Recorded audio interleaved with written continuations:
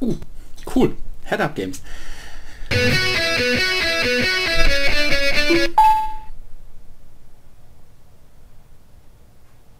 Okay, da ist eine Option.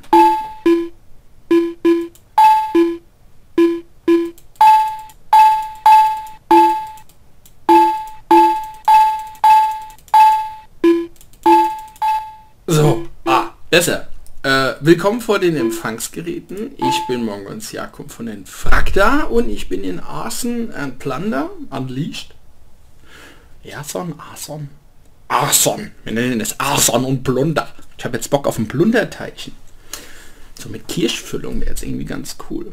Äh, egal, ich bin schon wieder abgelenkt. Ähm, ähm, was wollte ich gerade sagen? Achso, genau. Ja, ich habe das gerade so ein bisschen gefeiert, dass das von Head Up Games ist. Head Up Games mag ich nämlich sehr gern. Das ist ein, ein deutscher Publisher, ähm, der sehr viele kleine, also von, von, von Indie-Entwicklern sehr viele äh, kleine äh, Spiele, äh, ist ja kleine Spiele, aber kleinere Projekte, keine AAA-Titel im Portfolio führt und das ähm, ganz ordentlich aufbaut. Ich mag die ganz gern. Erstens fand ich die sehr nett äh, vom, vom E-Mail-Kontakt, den ich mit denen hatte. Und ähm, ich finde das auch schön, wenn es so deutsche Publisher gibt. Ähm, also generell finde ich es toll, wenn wir deutsche, deutsche Entwickler und Publisher haben. Äh, einfach mal festhalten. Und äh, ich finde das auch schön, wenn die versuchen, so eine Nische im Prinzip sich zu erobern, äh, wie im Prinzip früher auch mal Paradox angefangen hat. Paradox, bevor es so ein großes Ding wurde, hat die auch sehr viele Nischenspiele äh, äh geführt. Ähm, also ganz ehrlich, äh, wenn ihr so alt seid wie ich und erinnert euch, wie es losging mit Europa Universalis, Hearts of Iron und was sie da hatten, äh, das waren Nischenspiele, da ging, die hat keiner angefasst, der nicht bereit war, ähm, wirklich Hardcore-Strategie zu spielen. So, Arthur und Blande anliegt. Ich habe keine Ahnung, was das sein soll. Es sieht ganz lustig aus. Ähm, ihr kennt mich ja mittlerweile. Ich baller mir immer die Festplatte voll, wenn ich hier bei meinem Steam-Account, äh, bei meiner Steam-Bibliothek einfach bloß auf Download klicke und sehe, ach alles klar, ich habe 150 GB Festplatte äh, frei für, für Games, alles klar, mach mal voll. Und schaue mir dann die Spiele einfach mal an, wenn ich sie nicht kenne, ohne mich vorher groß zu informieren. Ich finde es persönlich immer schöner, da kann ich mich so richtig schön, erst ich befasse mich mit diesem Spiel, ich erforsche es für mich, ich lasse mir vorher nicht erzählen, wie toll oder wie schlecht oder weiß der Geier, was dieses Spiel ist, sondern ich will das selbst herausfinden. Und ich nehme euch quasi damit. Okay, es gibt... Ach, das ist ja geil. Man kann die Kampagne im Coop spielen. Das Spiel hat gleich ding, ding, ding, ding, ding, ein paar Bonuspunkte bei mir abgezogen, weil ich liebe Coop-Modus. Ähm, Finde ich immer ganz geil. Ich spiele jetzt aber, da ich allein gerade bin, hm, spiele ich mal Kampagne so. Freuland. Die Gorgel. Gott, schön. Ähm, das Spiel nimmt sich offensichtlich selbst nicht so ernst. Finde ich mal gut passt auch irgendwie zu Head-Up, weil die hatten ja auch zum Beispiel oder haben, soweit ich weiß, auch äh, so Dinge wie Grotesque Tactics 1 und 2 im Portfolio und das sind auch Spiele, die ich gerne mag. Von denen habe ich zum Beispiel auch hier den, den Medieval Bridge Builder da, ähm, ach, den kann ich echt mal weiterspielen. Ähm, ja, das sind, das sind sehr viele Spiele äh, im, äh, vorhanden, die sich selbst nicht so ernst nehmen und ähm, wo man mal Herz erflachen kann. Gut, aber ich weiß nicht genau, was ich hier spiele. Bis jetzt sieht es nach... Äh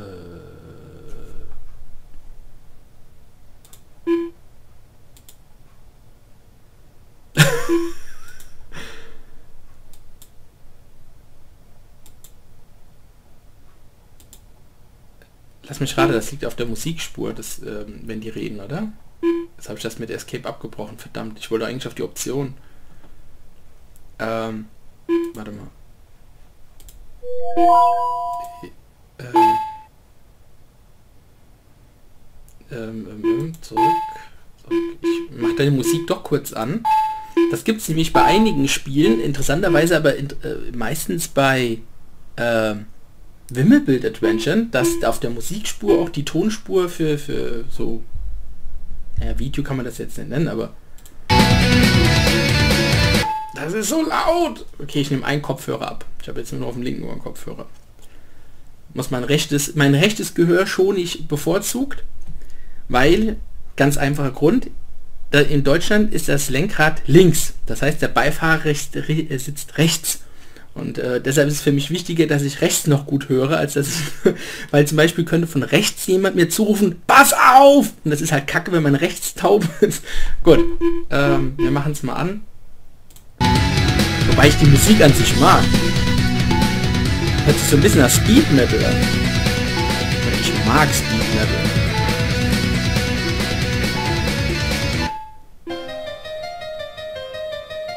Ah ne, die reden nicht. Da kommt echt nur Musik. Okay.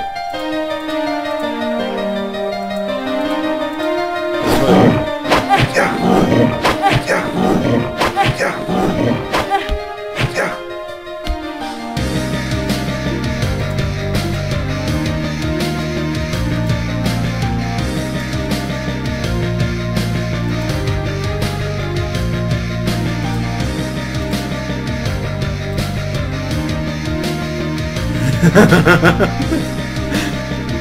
kannst ja...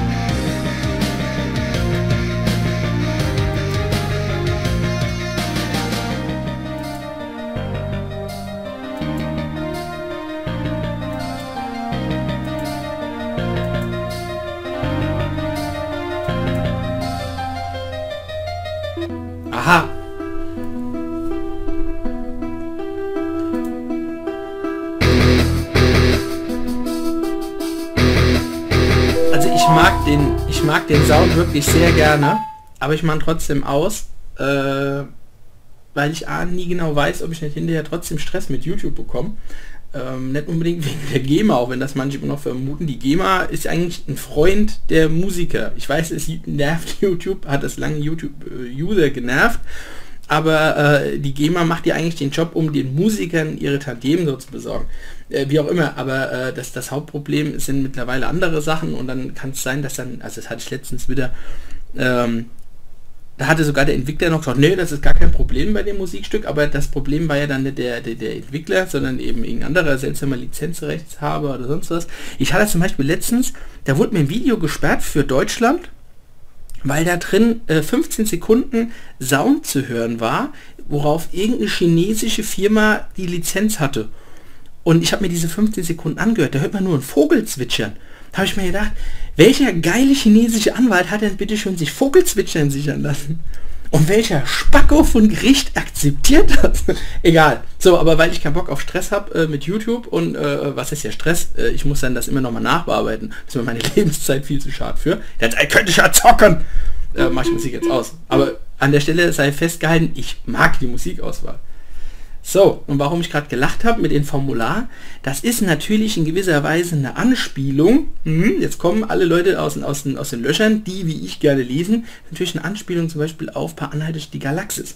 Da wird ja die Erde abgerissen, also erstmal wird das Haus abgerissen, das, soweit kann ich das spoilern. Und ähm, er hätte ja dagegen Einspruch erheben können, aber das Formular, also dass das Ganze ist im, im Keller irgendwo und verschlossen wird von Tigern bewacht oder sonst was. Und dann kurz darauf wird er noch die Erde abgerissen. Also das, und das, da geht es am Anfang auch mit Bürokratie und Formularen los. Und deshalb fand ich das, also ich empfinde das gerade als Anspielung auf Planet die Galaxis. Und das finde ich gut. So, jetzt, aber was ist das für ein Spiel? Wie steuern das überhaupt? Pfeiltasten. Drücke, um anzugreifen. Ah, C. Okay. Mhm, Axtstringer. Ich finde das auch schön, wie er seine Axt dekoriert hat, unten mit den bunten Federn. Wenn er jetzt noch Freundschaftsarmbänder anhätte wie Wolle Petri, würde ich den Ork noch mehr feiern. So, anscheinend. Aha. Okay, es ist ein, es ist ein Beat'em Up. Ein 2D Beat'em Up. Okay. Aha. Eine arme Tastatur. Ja, ich weiß, ich bin, ich bin einfach großartig. Kann ich die Eierplatten nehmen? Nein, das ist nur Deko. Drücke Pfeilfaste doppelt. Aha. Gott. okay. Ja, Sturmangriff wird überbewertet. Ich hacke mal. Okay. Ah, okay. Ja, wie ein Porsche wird gar nicht. Drücke. Aha, okay.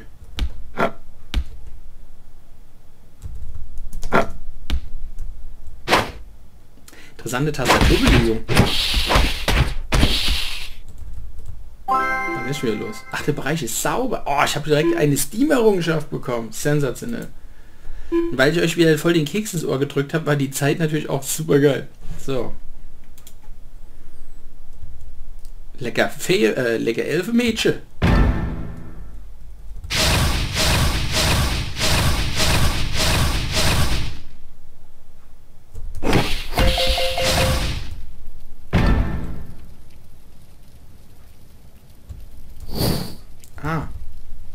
Sturmangriff.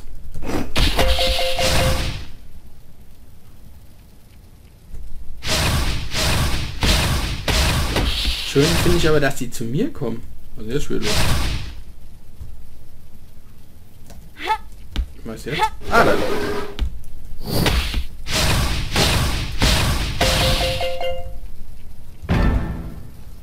Sammel es ein, um unverwundbar zu werden.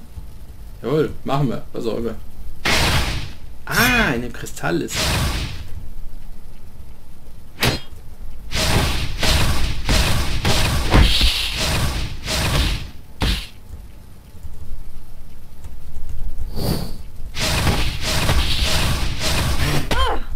Ey. Schlägt man eine Dame mit dem Knüppel? Ja, macht man. Früher. Bevor man sie über die Schulter wirft und die Höhle trägt. Das nennt sich Brautwerbung. Heute macht man das relativ selten. Außer in Bayern. Oder nur wenn man CSU-Mitglied ist. Habe ich nicht gesagt. das ist Fake News, dass ich das behauptet hätte. So. Äh, drücke für, Alter, alternative Fakten sind das. Drücke für den Torpedoangriff. Mhm. Mhm, mhm, mhm. Großartig. Ich habe Torpedoangriff. Ach, Tornado! Wer lesen kann, ist klar. Vorteil. Ich habe mich schon gefreut, wie dass der Torpedo dabei hat. Na ja gut. Wie haben wir jetzt jetzt? Hier. Mach hin. So. Ah, okay.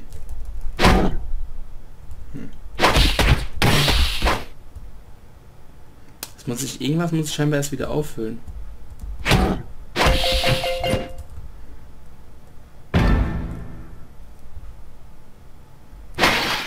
Mana. In der schönen, äh, formschönen Flasche. Drücke für den Panikangriff. S. Mensch, jetzt übertreibt ihr aber langsam in der Tastaturbelegung. Das ist, äh, das ist, das, das artet hier schon aus wie in der Simulation. Ja, auf, mach hin.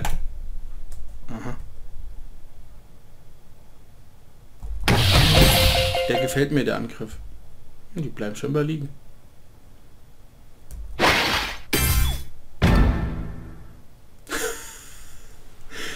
Okay, ähm, in der Spielen äh, einen Xbox-Controller unterstützen sollte, würde ich euch den Controller so langsam schon raten, weil das, äh, mir gehen langsam die Finger aus.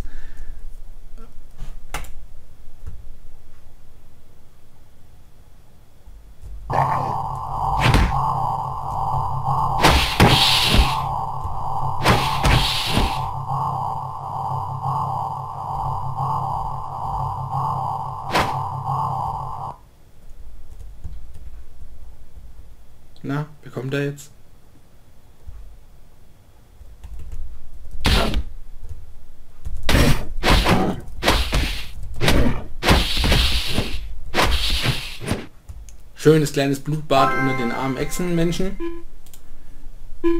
die wahrscheinlich bloß ihre Bruthöhle verteidigt haben, so wie das aussieht mit den Eiern. Wahrscheinlich sind wir hier quasi in der Säuglingsstation von irgendwelchen an sich total friedlichen, pazifistischen Hippie-Echsen eingebrochen. Die wollen überhaupt nichts Böses verteidigen nur ihre Babys. Ja? Und ruckzuck Genozid am Echsevolk. Aber hinterher will es wieder keiner gewesen sein. Man wollte nur die, äh, keine Ahnung, Demokratie verbreiten. So, es, äh, jawohl, machen wir. Mensch, mach hin das Spiel. Wir haben doch keine Zeit. Ich muss gleich wieder Twitter überprüfen, ob Trumpi wieder was gepostet hat.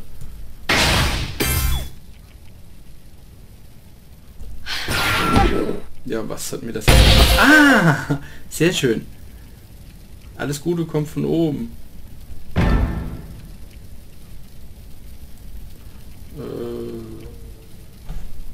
Drücken dich zu konzentrieren. Bewege Maus. Jawohl, machen wir. Was ist wieder los? Was ist Spielen? Da ist es. Ich hatte irgendwas versehen weggetappt. Ah, meine. So. Aber ich habe doch gar keine Maus. Ah. Und jetzt führe ich das C aus? Aha. Hm. Interessant.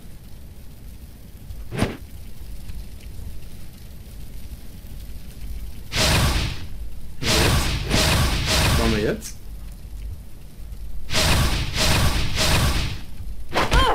Aua.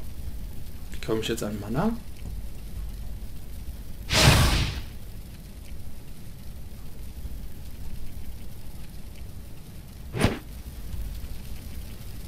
Ja, Junge, mach was.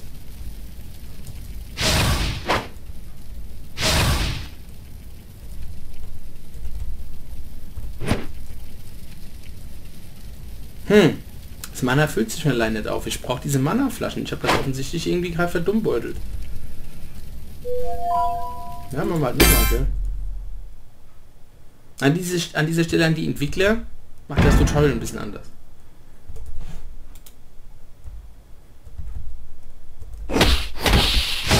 Wir sparen jetzt mal Mana, weil ich nicht wieder verdummbeutel. Hey, das ist das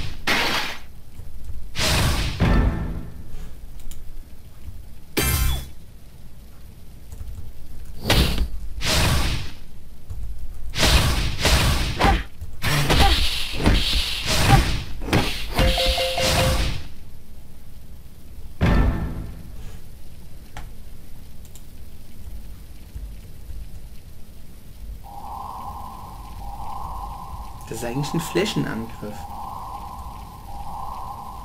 Ja, kommt schon her, ihr Schofsäckel.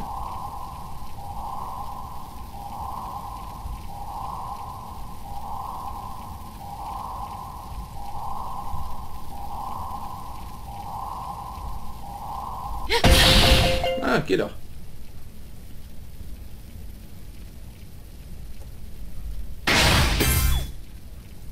Und jetzt? Ich habe die Barriere sprengen sollen oder was?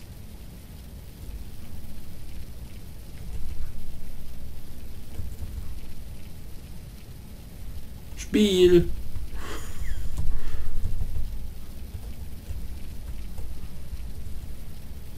Hm.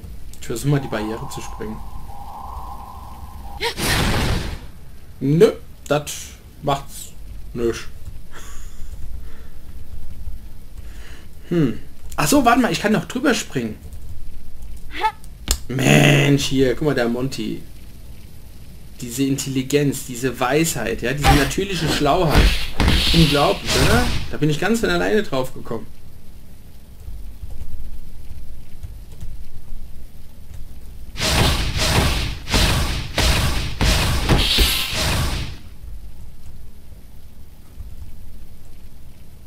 Genau, das ist der magische Stein. Achso, das, das ist gerade jetzt geskriptet. Okay, gut.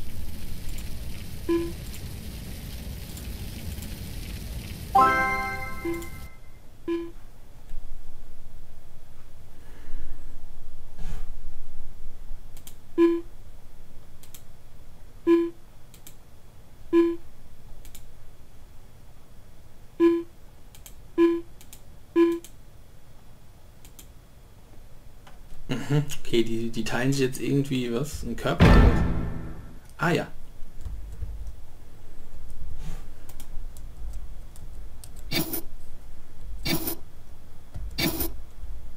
Also sie ist ja schon deutlich hübscher. Nicht, dass das großen Einfluss auf die Entscheidung hätte.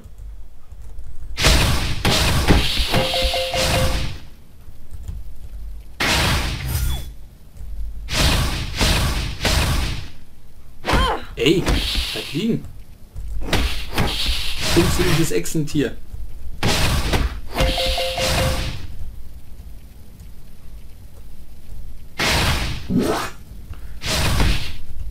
apple a day keeps the doctor away. Das alte Churchill gewusst. Der hat seinen Apfel immer davor in der Form von Zigarren zu sich genommen. Die Körperfüller nur kriegt, weil er am liebsten Apfel in Form von Apfelmus noch gegessen hat, wenn er zu viel Apfelzigarre hatte. So. Der dicke Churchill. Haben wir jetzt eigentlich? Ach, ein Schild.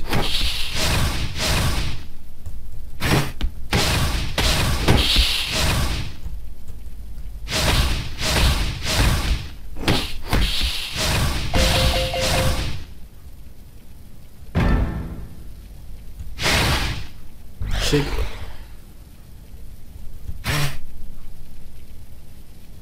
So, wo war das nun mal auf S?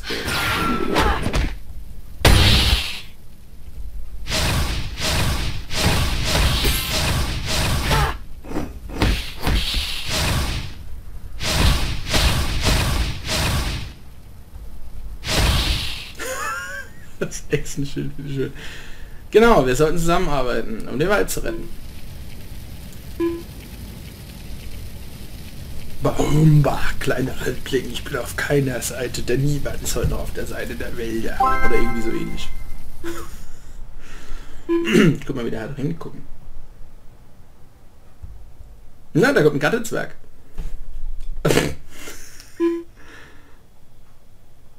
Schön gesagt, er sucht wahrscheinlich eine Frau. Weil Bauer sucht Frau. So, wo sind wir? Im Dorf. Nee, echt? ja, der ist ja lecker. Wenn ihr, ich stelle euch mal vor, ihr steht da so am Ortsrand, hackt irgendwie gerade im Boden rum, wobei ich die Straße toll finde. Das ist eine richtig gute Straße eigentlich. Äh, die, die, das, äh, das Dorf wurde irgendeine Autobahn alten errichtet, oder? Hm? Und dann kommt da so ein Mädel aus dem Wald und trägt solche Kleidung. Gut, brennende Hände, weiß nicht, dann gut die Ohren. Ja. Aber trotzdem diese Kleidung, würde ich auch sagen, bezauberndes Mädchen. Gut, muss man ehrlich sagen, ist auch wieder so ein bisschen figurabhängig. Gut, das auch wiederum Geschmackssache, gell. Hohe Punktzahl, sehr schön. Da hat jemand gerade die äh, vierte Wand besprochen. Dritte Wand, vierte Wand? Ich glaube, die vierte Wand ist es, oder? Wenn der Film oder das Spiel sich an den Spieler wendet, beziehungsweise durchblicken lässt, dass es nur ein Spiel oder ein Film ist. Und jetzt? Ah. Die Ex habe ich verfolgt, sind sauer, weil ich ihre Bruthöhle kaputt gemacht Ey, was seid denn ihr für Typen? Boah, seid ihr hässlich.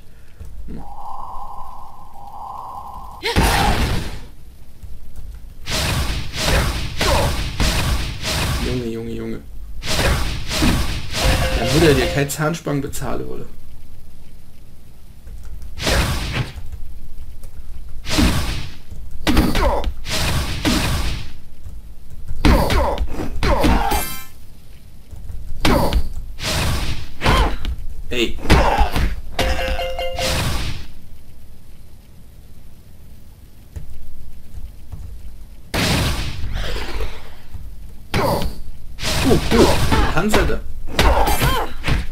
Dachte, ich wäre mit der Batterie irgendwie unkaputtbar oder so. Offensichtlich nicht.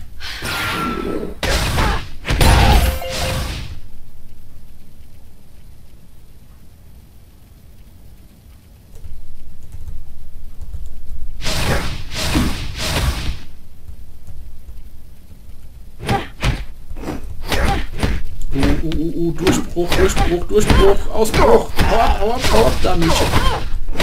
Ich kann nicht durchbrechen. Ich bin eingekesselt. Wie die sechste Armee. Verdammt, Paulus, mach was. Ah gut, ja, wir, sind, wir konnten entkommen. Aber es geht ihnen nicht gut.